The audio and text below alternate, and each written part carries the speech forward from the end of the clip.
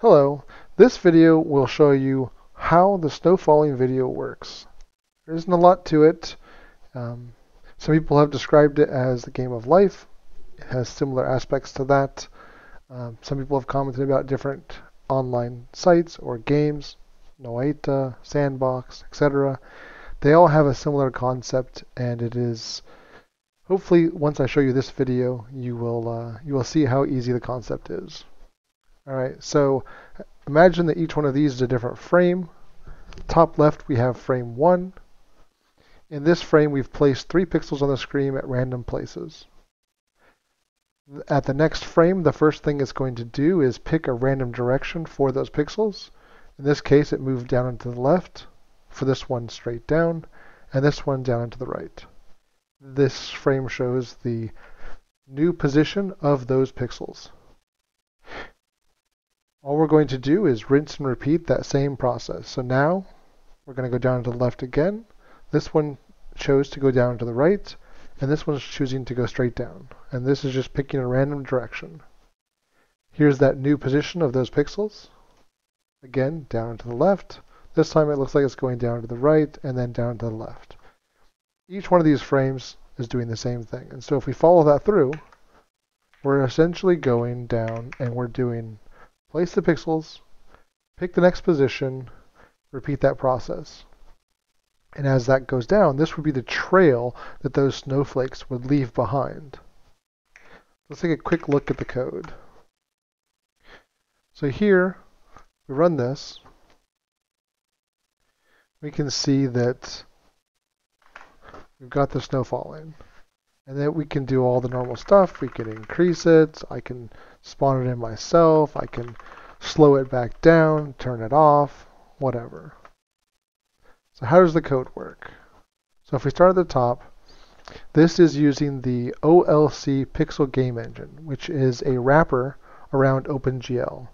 OLC stands for One Lone Coder. It is not my library. It is written by javidx9 I'll put a link to his channel in my description. Again, it's just a wrapper for OpenGL to make doing pixel um, pixel art or games with direct pixel manipulation easier to do. It's good for uh, learning and testing and just goofing around. So the game really starts down at the bottom. We'll get down there first.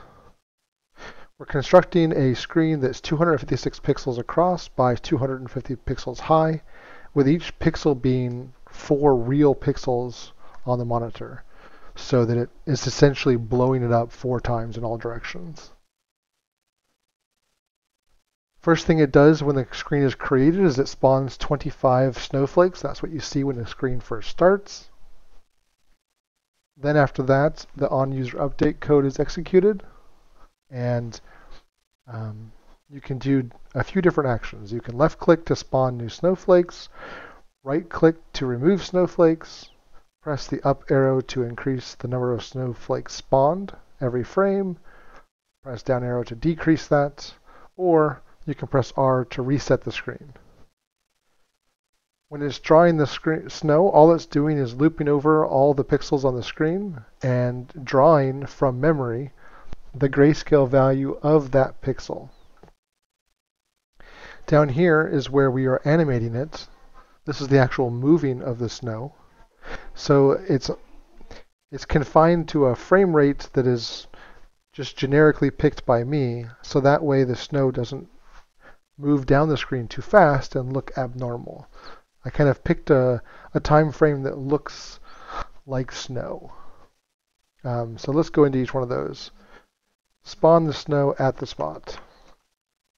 So to spawn the snow, all it's going to do is pick a random grayscale color between uh, 126 and 250, um, see, 8, 6, 254, I guess. So it's not the highest possible white, um, but it's not the darkest possible black either. Um,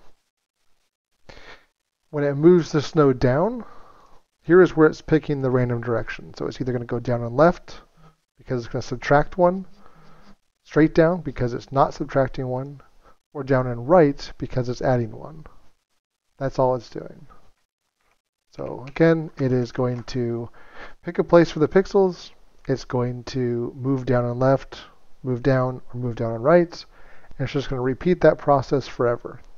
That's the simple logic of the game or the program. That's it.